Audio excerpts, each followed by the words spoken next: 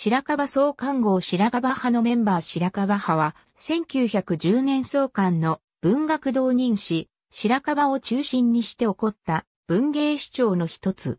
また、その理念や作風を共有していたと考えられる作家たちのことである。大正デモクラシーなど自由主義の空気を背景に人間の生命を高らかに歌い、理想主義、人道主義、個人主義的な作品を制作した。人間皇帝を施行し、自然主義に代わって1910年代の文学の中心となった。1910年刊行の雑誌、白樺を中心として活動した。そのきっかけは1907年10月18日から神奈川県藤沢町久毛沼の旅館東屋で武者の工事実厚と志賀直也が発刊を話し合ったことだと志賀が日記に書いている。学習院の学生で顔見知りの十数人が1908年から月2円を拠出し、明治43年春の観光を期して雑誌刊行の準備を整えたという。同窓、同年代の作家がまとまって出現した、このような例は、後にも先にも、白樺以外にない？白樺は、学習院では、ユーダの戸が作った雑誌として、禁書にされた。彼らが例外なく、軍人嫌いであったのは、学習院委員長であった、野木マレスケが体現する、武士道や明治の精神への反発からである。さらには、監視や徘徊などの東洋の文芸に関しても、画号、配合の類を用いなかった。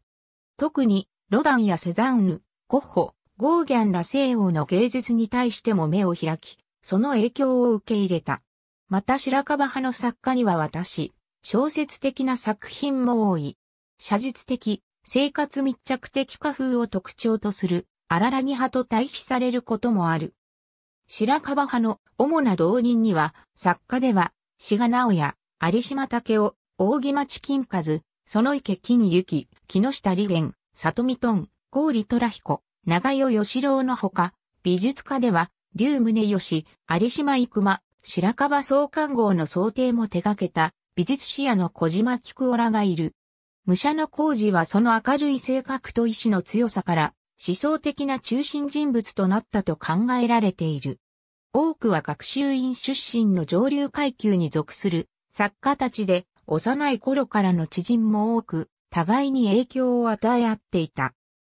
白樺派のメンバーは競技には白樺導入を指すが彼らの活動は同時代の文学者や美術家に大きな影響を与えており、作家では千家元丸、高村光太郎、倉田百三、尾崎喜八、犬飼健、美術家では、岸田流星、中川和正、梅原龍三郎、椿貞夫、バーナード・リーチなど、その理念に共鳴して、同人との信仰を深め、白樺に寄稿したものも少なくなかった。彼らを講義の白樺派に含める場合もある。彼らは恵まれた環境を自明とは考えず、人生への疑惑や社会の不合理への憤る正義感をすり減らさずに保ち得た人々であった。ロシアの文豪レフ、トルストイの影響を強く受けたことや、有島武夫がその晩年に自分の財産を小作人に分かち与えたこと、武者の工事による新しき村の実験に見られるような急進主義にも、そうした傾向はよく現れている。白樺文学館白樺文学館は、千葉県阿鼻子市緑の旧志賀直屋邸跡地前に2001年1月に白樺派の作品を広く公開するために建設された文学館である。コンセプト立案者及び初代館長は武田康弘。日本オラクル初代社長の佐野力が創設し、2009年に千葉県阿鼻子市が運営を引き継いだ。白樺派の他流宗義が始めた民芸運動についての資料を所蔵、展示する。阿鼻子市にある手賀沼の北岸は当時は農村地帯であったが、阿鼻子駅の開業で東京から交通の便が良くなり、別荘地として人気が出つつあった。竜宗義、竜金子夫妻が1914年4月、宗義の叔父である、加納寺五郎の別荘向かいに引っ越し、庭にあった三本の C にちなんで加納が、ミキソウと命名。竜夫妻に誘われる形で、白樺同人たちが続いた。志賀直也夫妻は1915年に移り住んだ。直也は当時、父との不和に悩み、愛知が要請する不幸もあったが、ここで創作意欲を回復させ、城の先にて、和解、小僧の神様や暗夜航路を執筆した。さらに1916年には、武者の工事実厚実厚も、今日構え、彼らとの交流から1917年に英国人、陶芸家、バーナード・リーチが三次層裏に釜を築いた。直也が京都へ転居した1923年を最後に各作家の居所はちりぢりになるが、彼らの濃密な交流や東京からの文化人の来訪により、手が沼北藩は白樺派や民芸運動の拠点となった。阿鼻子市は白樺文学館の運営を引き継いだほか、文学館や白樺派作家の別荘跡前を結ぶ、ハケ家の道を白樺派の小径と命名している。また宅地開発されそうになった志賀直屋屋敷跡を購入して書斎を移築した。